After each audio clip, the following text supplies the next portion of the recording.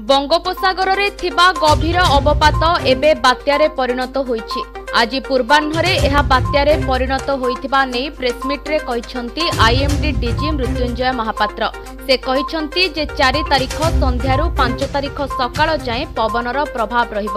ପବନର ବେଗ ଏହି ସମୟରେ ଅଶୀରୁ ନବେ କିଲୋମିଟର ରହିବ। ବାତ୍ୟା ଜବାଦ ଏବେ ବିଶାଖାପାଟଣାରୁ ଚାରିଶହ କୋଡ଼ିଏ କିଲୋମିଟର ଦୂରରେ ରହିଛି। ଏବଂ କାଲି ସନ୍ଧ୍ୟାରେ ଦିଗ ପରିବର୍ତ୍ତନ କରିବ ବାତ୍ୟା ଜବାଦ ପାଞ୍ଚ ତାରିଖ ଅପରାହ୍ନରେ ପୁରୀ ଜିଲ୍ଲାରେ ସ୍ଥଳଭାଗ ଛୁଇଁପାରେ ବାତ୍ୟା। ଉପକୂଳ ଓଡ଼ିଶାରେ ବର୍ଷା ସହ ପବନର ବେଗ ମଧ୍ୟ ବଢ଼ିବ। ଆଜି ମଧ୍ୟରାତ୍ରରୁ ପବନର ବେଗ ବଢ଼ିବାର ସମ୍ଭାବନା ରହିଛି। କାଲିଠାରୁ ବର୍ଷା ବଢ଼ିବ ଏବଂ ଛଅ ତାରିଖରେ ବର୍ଷା କମିବ। ତେବେ ଜୱାଦର ପ୍ରକୋପ ଗୁଲାବଠାରୁ ଟିକେ ଅଧିକ ଏବଂ ତିତ୍ଲିଠାରୁ କମ୍ ରହିବ। ସମୁଦ୍ରରେ ନିୟମିତ ଜୁଆରଠାରୁ ଅଧିକ ଏକ କିଲୋମିଟର ଜୁଆର ଉଠିପାରେ। ଅମାବାସ୍ୟା ଥିବାରୁ ବାତ୍ୟା ବେଳେ ସମୁଦ୍ରରେ ଜୁଆର ଆସିବ। ନିୟମିତ ପ୍ରାୟ ଚାରି ମିଟର ଯାଏଁ ଜୁଆର ଆସିଥାଏ। କିନ୍ତୁ ସେହି ସମୟରେ ଆଉ ଏକ କିଲୋମିଟର ବଢ଼ିବ। ପ୍ରାୟ ପାଞ୍ଚ ମିଟର ପର୍ଯ୍ୟନ୍ତ ଜୁଆର ଆସିବାର ସମ୍ଭାବନା ରହିଛି ବୋଲି ଆଇଏମ୍ଡି ଡିଜି କହିଛନ୍ତି। ତେବେ ଏହି ସମୟରେ ସତର୍କ ରହିବାକୁ ସେ ପରାମର୍ଶ ଦେଇଛନ୍ତି। ତେବେ ବାତ୍ୟାକୁ ଦୃଷ୍ଟିରେ ରଖି ସରକାରୀ କର୍ମଚାରୀଙ୍କ ଛୁଟି ବାତିଲ କରାଯାଇଛି। ରବିବାର ସାପ୍ତାହିକ ଛୁଟିକୁ ବାତିଲ କଲେ ରାଜ୍ୟ ସରକାର। ସମସ୍ତ କର୍ମଚାରୀଙ୍କୁ ନିଜ ନିଜର ହେଡକ୍ୱାର୍ଟରରେ ରହିବାକୁ ନିର୍ଦ୍ଦେଶ ଦିଆଯାଇଛି। ଛୁଟିରେ ଥିବା କର୍ମଚାରୀ ଛୁଟି ବାତିଲ କରି ଫେରିଆସିବାକୁ ସ୍ୱତନ୍ତ୍ର ରିଲିଫ କମିଶନରଙ୍କ ପକ୍ଷରୁ ନିର୍ଦ୍ଦେଶନାମା ଜାରି ହୋଇଛି। ସ୍ଥାନରେ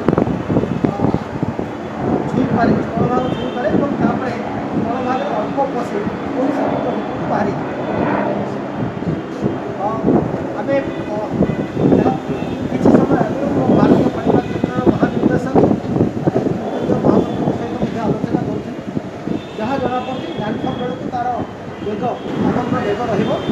ପାଖାପାଖି ନବେ କିଲୋମିଟରରୁ ଶହେ କିଲୋମିଟର ନବେ କିଲୋମିଟର ପାଖାପାଖି ରହିବ ଗଷ୍ଟିଂ ହଣ୍ଡ୍ରେଡ଼ କିଲୋମିଟର ହେଇପାରେ ଅ, ଏବଂ ତାପରେ ଲ୍ୟାଣ୍ଡଫଲ୍ ପରେ ତା'ର ବେଗ କମିବା ଆରମ୍ଭ ହେବ ଏବଂ ଲ୍ୟାଣ୍ଡଫଲ୍ର ସମୟ ଯଦିଓ ଏକ୍ଜାକ୍ଟଲି ଇଏ କରାଯାଉନାହିଁ ତେବେ ଚାରି ତାରିଖ ସନ୍ଧ୍ୟାର ପାଞ୍ଚ ତାରିଖ ସକାଳ ଭିତରେ ଲ୍ୟାଣ୍ଡଫଲ୍ ହେବ।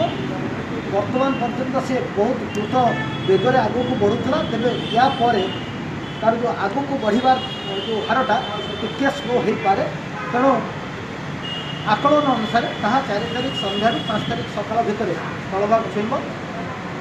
ଆଉ ବା ଯଦି ଆଉ ଟିକେ ଅଧିକ ରାଇଟ୍ ରିକର୍ଭିଂ କରେ ତାହେଲେ ଆମ ସ୍ଥଳଭାଗରେ ନ ଛୁଇଁଲେ ବି ସ୍ଥଳଭାଗ ପାଖାପାଖି ଆମ ଉପକୂଳ ପାଖାପାଖି ସିଏ ପାର୍ଲାର ହେଇକି ମଧ୍ୟ ଯି- ଯିବାର ସମ୍ଭାବନା ଉଠିପାରେ ବାତ୍ୟା ଆସୁଛି ବୋଲି ଆମେ ପ୍ରବଳ ଭୟଭୀତ ହେଇକି ଅଛୁ କାହିଁକି କରୋନା ସକାଶେ ଆମ ଦୋକାନ ବଜାର ସବୁ ବନ୍ଦ ଯଦି ବାତ୍ୟା ଆସେ ଆମେ କ'ଣ କରିବୁ?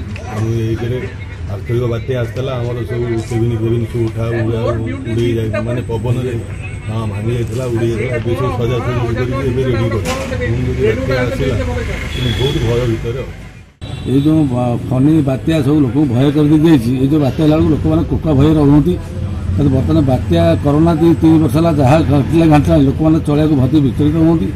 ଲୋକମାନଙ୍କର ଅବସ୍ଥା ବହୁତ ଶୋଚନୀୟ। ହେଲା, ବାତ୍ୟାଟାକୁ ଲୋକଙ୍କର ବହୁତ ପ୍ରଭାବିତ କରୁଛି।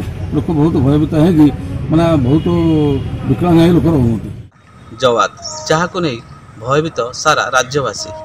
ଏ ନେଇ ଆଜି ପାଣିପାଗ ବିଭାଗ ପକ୍ଷରୁ ମଧ୍ୟ ସତର୍କ ସୂଚନା ଜାରି କରାଯାଇଛି। ଏହି ସତର୍କ ସୂଚନାରେ କୁହାଯାଇଛି ଯେ ଯେଉଁ ବର୍ଷା ଆଉ ଝଡ଼ ହେବ ସେଥିରେ ମୁଖ୍ୟତଃ ଗଛ ଭାଙ୍ଗିବା ସହିତ ରାସ୍ତା ରାସ୍ତା ଏବଂ ତଳିଆ ଅଞ୍ଚଳରେ ପ୍ରବଳ ପ୍ରବଳ ପାଣି ଜମି ରହିବ। ଫଳରେ ତଳିଆ ଅଞ୍ଚଳରେ ରହିଥିବା ଲୋକମାନଙ୍କୁ ଉଚ୍ଚ ସ୍ଥାନକୁ ଆସିବା ପାଇଁ ପାଣିପାଗ ବିଭାଗ ସହିତ ଆମର ମୁଖ୍ୟ ରିଲିଫ କମିଶନର ମଧ୍ୟ ସୂଚନା ଦେଇଛନ୍ତି। ବର୍ତ୍ତମାନ ପାଣିପାଗ ବିଭାଗ ପକ୍ଷରୁ ଯାହା ସୂଚନା ରହିଛି ପବନ ବର୍ତ୍ତମାନ ଲଘୁଚାପ ଡିପ୍ ଡିପ୍ରେସନରେ ପରିଣତ ହୋଇଛି ଏବଂ ଏହା ପାରାଦ୍ୱୀପଠୁ ସାତଶହ ଷାଠିଏ କିଲୋମିଟର ଦୂର ଏବଂ ଗୋପାଳପୁରଠୁ ଛଅଶହ ସତୁରି କିଲୋମିଟର ଦୂରରେ ରହିଛି। ଏହା ଆଗାମୀ ବାର ଘଣ୍ଟା ମଧ୍ୟରେ ସାଇକ୍ଲୋନର ସାଇକ୍ଲୋନର ସାଇକ୍ଲୋନ ଷ୍ଟର୍ମର ରୂପ ନେବ। ଏହାକୁ ନଜରରେ ରଖି ଓଡ଼ିଶା ସରକାର ମଧ୍ୟ ପ୍ରସ୍ତୁତି ଚୂଡ଼ାନ୍ତ କରିଛନ୍ତି। ଏସ୍ଆର୍ସିଙ୍କ ପକ୍ଷରୁ କୁହାଯାଇଛି ଯେ ସତରଟି ଓଡ୍ରାଫ୍ ଟିମ୍ କୋଡ଼ିଏଟି ଏନ୍ ଡି ଆର୍ ଏଫ୍ ଏବଂ ଶହେ ବାସ୍ତରୀଟି ଅଗ୍ନିଶମ ବିଭାଗକୁ ଏଥିପାଇଁ ସଜାଗ କରି ରଖାଯାଇଛି। ତେବେ ଏହି ବାତ୍ୟା ଜୱାଦ କେଉଁଠାରେ ସ୍ଥଳଭାଗ ଛୁଇଁବ ତାହା ଏପର୍ଯ୍ୟନ୍ତ ସ୍ଥିର ହୋଇନାହିଁ। ଆଗାମୀ ଦିନରେ ଏହି ପବନ ଓ ବାତ୍ୟା କେତେ କ୍ଷତି କରିବ ଓଡ଼ିଶାରେ ତାହା ତ ସମୟ କହିବ। ଓଡ଼ିଶାରୁ ଓଡ଼ିଶାରେ ବର୍ତ୍ତମାନ ପାଗ ଉଁ, ମେଘୁଆ ମେଘାଚ୍ଛନ୍ନ ମଧ୍ୟ ହୋଇଯାଇଛି ଏବଂ ଲୋକଙ୍କ ମଧ୍ୟରେ ଭୟ ମଧ୍ୟ ଖେଳିଯାଇଛି। ବାତ୍ୟାର ରୂପରେଖ ଆଗାମୀ ସମୟରେ ସ୍ପଷ୍ଟ ହେବ। ଭୁବନେଶ୍ୱରରୁ ବିଶ୍ୱଜିତ ଦାସ ପ୍ରୟାସ ନେଉଛି